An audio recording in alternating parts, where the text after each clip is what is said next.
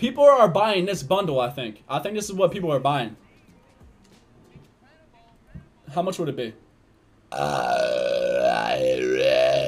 Excuse me. Wait, 12k? Yo. People are buying this bundle for $100.